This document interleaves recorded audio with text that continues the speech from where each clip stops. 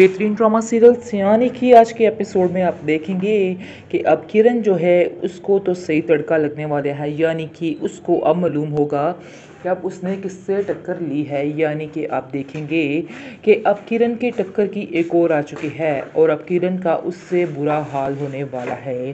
किरण को इस चीज़ का इशारा हो चुका है और वो बार बार अपनी माँ को कॉल करके कहती है कि अब देखिएगा कि वो लड़की आकर इधर मेरा क्या हाल करती। अब तो सारे उसी का नाम लेंगे क्योंकि वो सही मानी में एक अमीर लड़की है।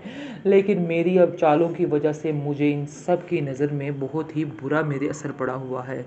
मैं इस बात से बहुत ज़्यादा परेशान हूँ। उसकी माँ उसको समझाने की कोशिश करती है कि तुम परेशान मत हो। तुम जो भी काम करोगी बहुत सोच समझ कर करना।